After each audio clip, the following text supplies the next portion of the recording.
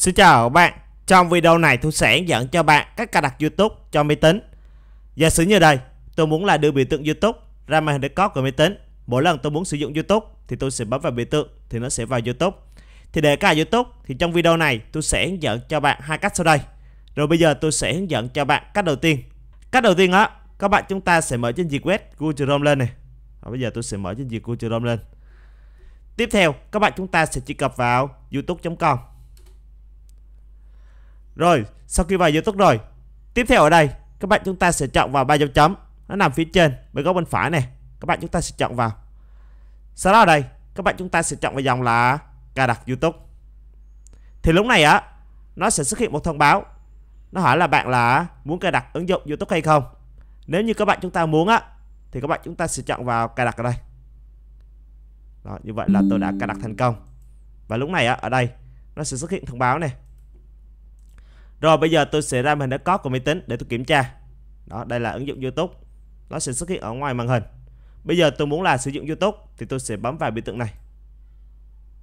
Đó, thì nó sẽ vào YouTube.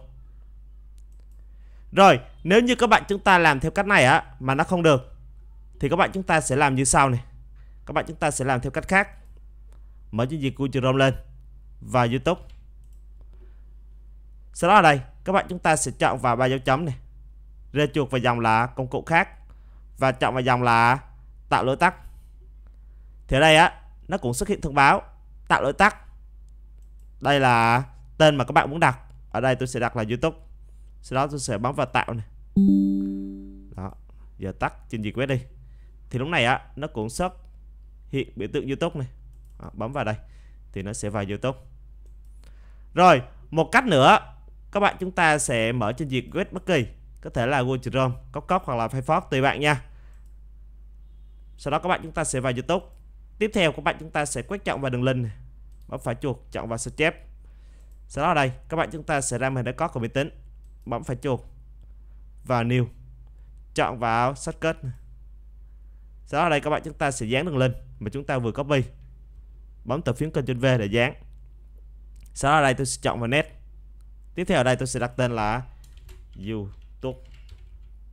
Xong rồi thì tôi sẽ chọn vào fitness này. rồi đây nó đã có tên rồi này. Bây giờ tôi sẽ xóa cái đây đi. Sau đó tôi sẽ đặt tên là youtube này thì nó sẽ được nha. Đó. Rồi bây giờ tôi sẽ vào youtube thì ở đây tôi sẽ bấm vào biểu tượng này thì nó sẽ vào youtube này. Đó, thấy không? Rất là đơn giản.